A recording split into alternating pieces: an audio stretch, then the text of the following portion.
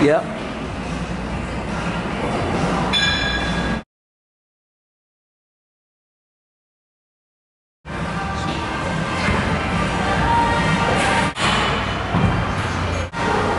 Stay tight you touch the box.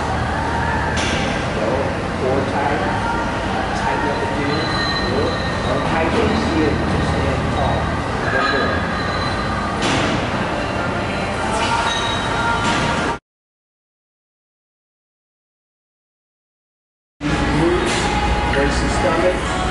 Keep your core about nine. Hold